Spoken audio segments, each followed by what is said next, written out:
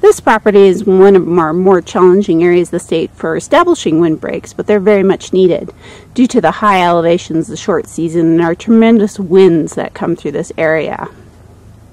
We'll now join the folks from the Laramie Rivers Conservation District as they um, go about planting a new section of this windbreak.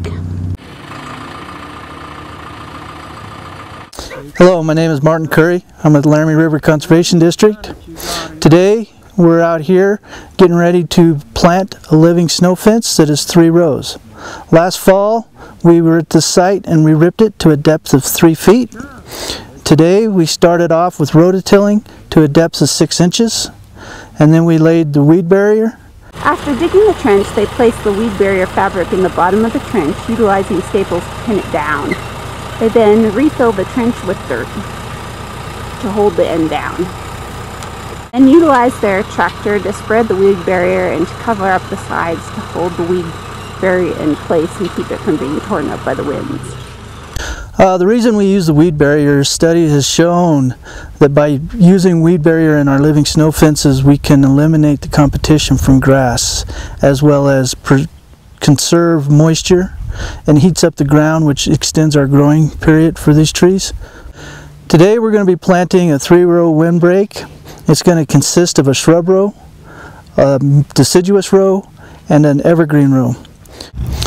The first row that we're going to be planting today will be the Caragana row. That'll be our shrub row.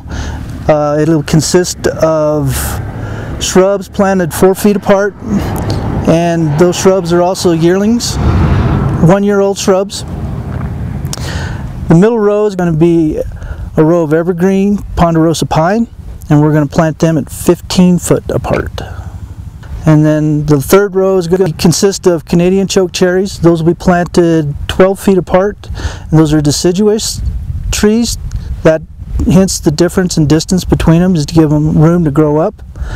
At this particular site, the landowner has elected to erect a four foot picket fence on the windward side of his tree row to protect his trees until they get a chance to get established and then he'll remove the picket fence. After the weed barrier fabric is laid down, they use a utility knife to make an X where each tree will be planted. They then go along and dig out the area where the tree is going to go. Techniques to consider when you're planting these shrubs is when you get these roots that are kind of long, you can go ahead and trim them just a little. It doesn't hurt them. And another thing that you want to do when you plant these is make sure that you get the roots pointed down. You don't want them turning up, which we would call a J-hook. And the reason for that is when these are turned up, they'll continue to grow and hit the air or the soil surface and that kills the shrubs. So always try to keep your roots pointing down when you're planting them.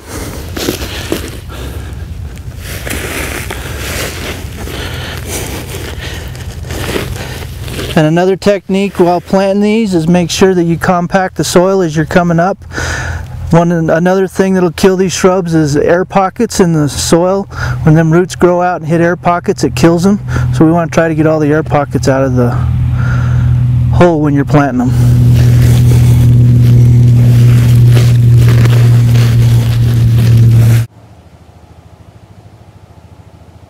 I'd like to discuss the irrigation system that we're going to be using for this drip system on the tree planting. First thing you're going to need is a supply line, usually a three quarter inch supply, and that can come from a frost-proof hydrant or it can come from a tap off of a house. We'll tie into that. The first thing you're going to need in the system is this guy. This is what we call a backflow preventer and that's going to prevent the water from coming backwards into our well and contaminating our well. The next piece that's critical in the system is this guy.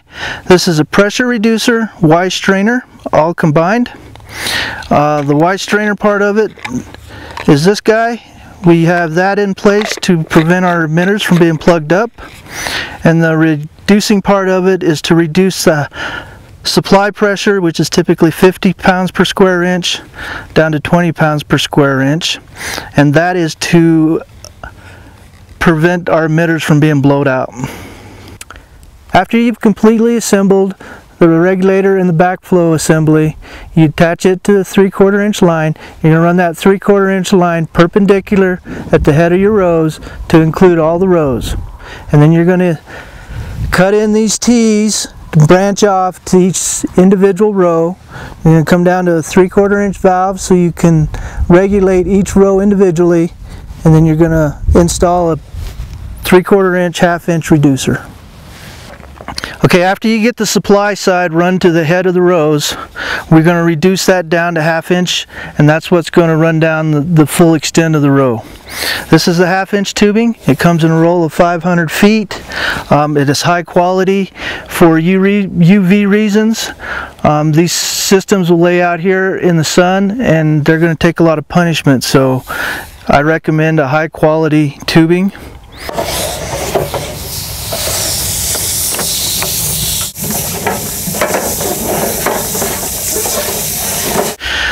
After you've pulled your drips or the half inch line to the end of the row, we're going to start at the back of the row and work our way back up to the supply line.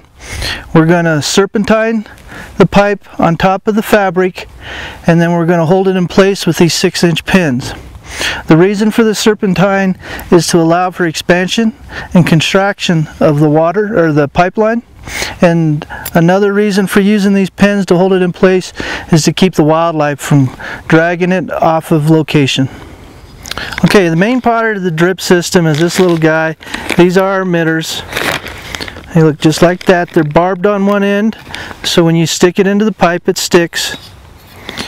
And then this is where the water drips out on the other end. Depending on what product of emitter you're using, you're going to have to purchase a tool to install them. Different products will have different tools, so make sure that the tool matches the product that you're using. The technique for installing the emitters is you just take and stick the emitter in the tool, grab behind the pipe, and just punch it in. After you've completely installed all the emitters, the final step of getting your drip system operational is to turn on the water, wait till you get a flush out of the end of your lines, and then you can go ahead and install any end cap that you plan on putting on these systems. So what we use is a figure eight. This is one of multiple products that are on the market that can be used. So all you have to do is just slide it over the pipe fold the pipe back onto itself and then slide the other eight on. After you got the drip system installed and in operational, go ahead and check all the emitters to make sure that they're functioning properly.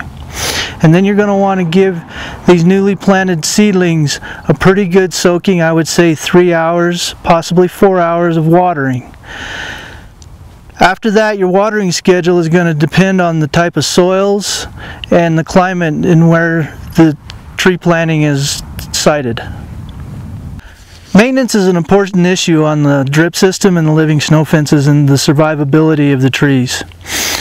It is important to periodically check the emitters to make sure that they are properly functioning, as well as to check all your strainers to make sure that they're clean. Make sure that your regulator system is working and with that you should have a successful tree planting.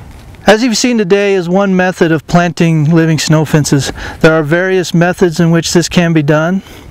If this is something that you are interested in, planting a shelter belt or a living snow fence on your property, please check with your local conservation district or your NRCS representatives.